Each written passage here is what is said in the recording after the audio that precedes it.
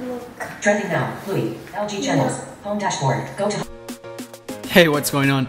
Do you have issues with these voice assistants talking to you every time you do something with the remote? Do not worry, let me show you in less than 10 seconds how to disable these voice assistants. So let's go ahead and get to it. First, we're going to press and hold down this mute button, this one right here. We press and hold down the mute button for around 5 seconds.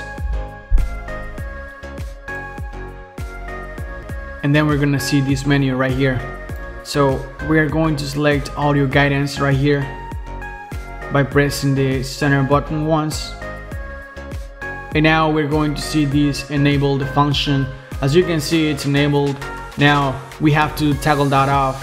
And to do so, we're just going to press the center button, the OK button once.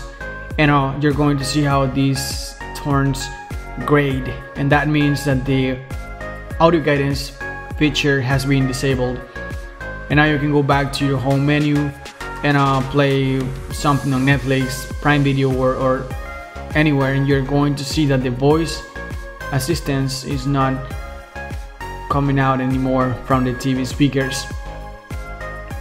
Hey, let me know if this helps you out. If so, please don't forget to subscribe.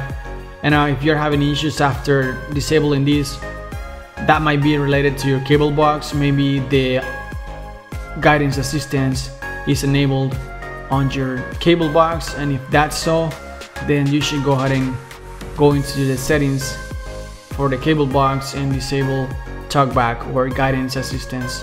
Thanks so much for watching. I hope you have a great day. Bye bye now. Take care